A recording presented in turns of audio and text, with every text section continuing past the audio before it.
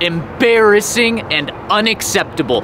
That is what Greg Penner said was the final straw for Nathaniel Hackett on Sunday. They were thinking about doing this move, but they didn't know it was going to happen this week until Sunday's game when the product on the field was 51 to 14 and off the field you had players doing some things that were unacceptable. Embarrassing and unacceptable is what Greg Penner said Sunday was. And we are here, Henry Chisholm, Zac Stevens, to break down the biggest takeaways from just talking to Greg Penner and George Paton after the Broncos fired Nathaniel Hackett yesterday. We're here with some takeaways. That was the first one. Second takeaway here is what the Denver Broncos are looking for in their next head coach leadership and culture. That's what they're looking for. They're not looking for someone to fix Russell Wilson purely. They're looking for someone to fix the offense, defense, special teams. They are happy with where the defense is right now. They both said the offense did not have an identity this year, and they specifically said the special teams needs help. So this is not just about Russell Wilson. They made that very clear, although they do think that Russell Wilson can be fixed. They saw flashes of it this year.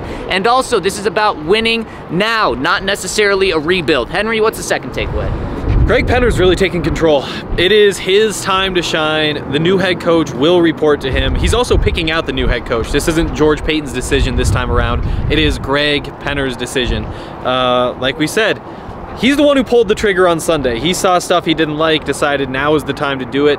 He said that there's a bunch of other changes that need to be made, and they aren't going to wait for a new head coach to make them. They're evaluating everything. When he was saying that part, he actually said, I'm impatient.